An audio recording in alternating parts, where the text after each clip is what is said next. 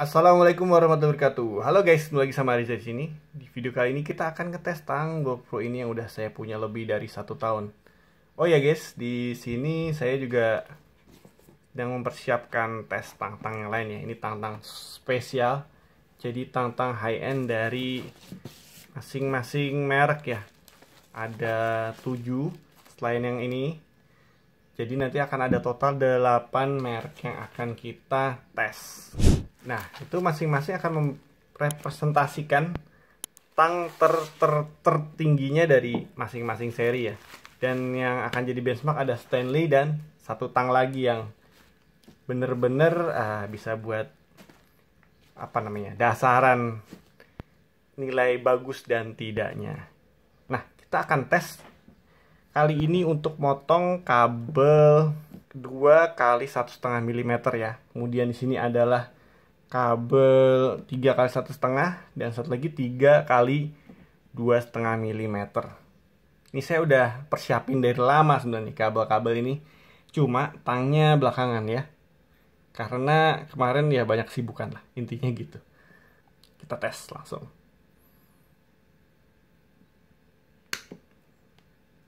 Uh, fine-fine aja. Sekali lagi. Oke. Okay no problem.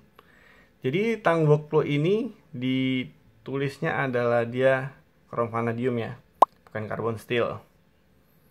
Mudah-mudahan saya nggak salahnya udah agak lama saya jadi agak-agak lupa. Tapi ini seingat saya adalah chrome vanadium.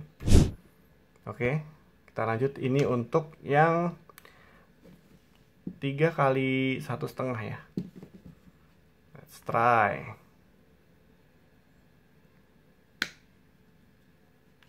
BB aja. Nggak ada masalah.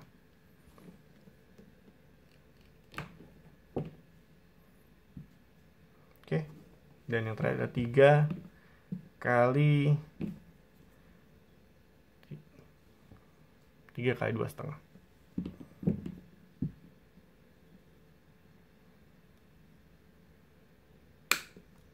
Ini agak berat ya karena besar aja sih.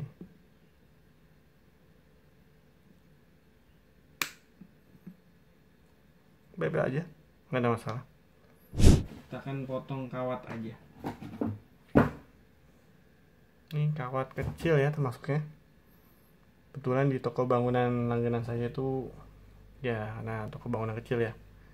Dia nggak jual kawat besar dan kemarin saya nggak ngambil kawat tembaga buat penangkap petir karena ya malas saja tuh ada di mitra 10 oke kita coba yang ini.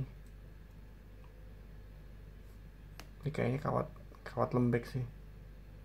Gampang banget sih potongnya coba bisa nggak yang kecil potong lagi. Eh jatuh. Oh iya. Kalau kalian lihat sini alasnya nih udah berubah warna ya ini sebenarnya buat background latar cuma ya berhubung jarang nampilin background ya backdrop belakang jadi ya buat alas dulu aja. Oke itu dia ya. Jadi Tangwok Pro ini udah setahun ya kayaknya ya. Setahunan di dalam tas dan nggak karatan tuh kalau barit-barit ya jelas ada ya karena di sana kan uh, berbaku hantam dengan alat-alat yang lain ya dan tas tukang saya tuh sebenarnya tas laptop. Tapi lumayan lah. Nah ini kelebihannya dia ada alat catutnya aja di sini ya, catut pakunya. Ini termasuknya jarang ditemukan ya. Paling cuma di tang high leverage saja yang ada catut paku kayak gini. Sangat sangat berguna sekali sih dan ya alhamdulillah ini nggak nggak ada degradation nggak ada penurunan performa lah. Masih tetap tajam kok. Kita potong lagi yang gede lah. Kan tuh. Yang kecil-kecil kita tinggalkan dulu. Tapi yang kecil-kecil itu bagus buat tes ketajaman sebenarnya. Nah, sekali lagi ya ini kabelnya saya beli semeter semeter nggak salah. Per tiga meter lupa.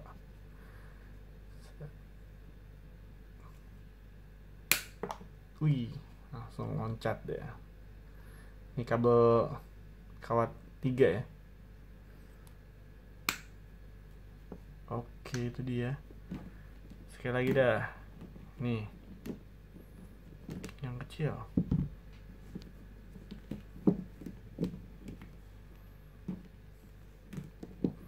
Ini kabel dua kali satu setengah ya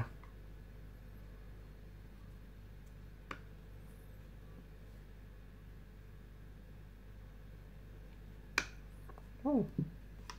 Kabel kecil mah langsung aja bablas. Kalau dibilang Tangbook Pro tuh bagus apa enggak? Ya kalau soal kekuatan kayaknya masih di bawahnya yang high end macam Knipex ya.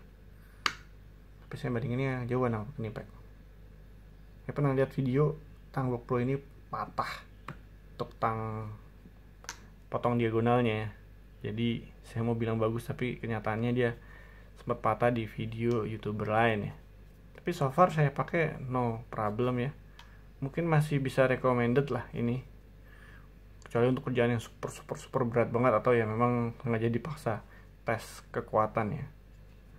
Masih sangat sangat uh, proper sekali. Oke itu aja dari saya. Jangan lupa subscribe dan like.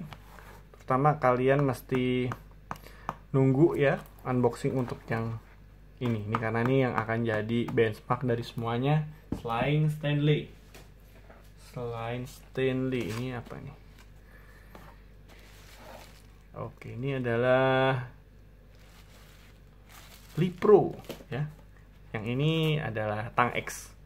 Pokoknya spesial banget. Saking spesialnya kita buka apa infonya tentang apa tuh nanti pas Tang-tang pada datang ya. Saya sebenarnya mau unboxing ini sekalian buat uh, ngecek barangnya ini bener apa enggak sebenarnya. Ini tang apa nih lupa? Hmm, oh ini ada tang itu. Total. Jadi saya beli total sama satu lagi itu uh, Ingo. Itu kepisah ya. Oh, ini Stanley di banget kepisah karena di Ingo tang, tang yang saya mau itu uh, harganya agak terlalu mahal dan agak susah dapatnya. Ongkirnya terlalu mahal. Karena lokasinya seperti kalian tahu ya kalau Ingko tuh dari Medan. Yang ini dari uh, Tangerang. Lebih murah dan harga dasar pun lebih murah. Jadi nanti akan dibikin satu video langsung dua tang karena emang tangnya itu itu doang sebenarnya. Tapi beda brand gitu total sama Inko tapi Inko nanti ada sendiri yang kastanya lebih rendah di bawah ini. Jadi saya akan buat selengkap mungkin. Kalau untuk tang merek lain ada Toho sama apa lagi lupa. Tekiro ya jelas. Tekiro jelas sama yang tadi yang akan mendatang itu adalah Inko. Tang merek lain saya belum belum tahu yang Chrome Vanadium dan sebagus itu. Ada sih cap mata tapi saya nggak terlalu yakin ya tentang cap mata. Mungkin kalau kalian bisa kasih saran apa kita masukkan cap mata kita akan masukin cap mata tapi untuk sementara ini dulu itu aja dari saya. Jangan lupa klik subscribe. Saya butuh uh, subscriber sampai 1000 ya buat monetis dan kita bisa ya lebih semangat lah bikin video ya. Itu aja dari saya. Sampai ketemu lagi di video-video selanjutnya. Assalamualaikum warahmatullahi wabarakatuh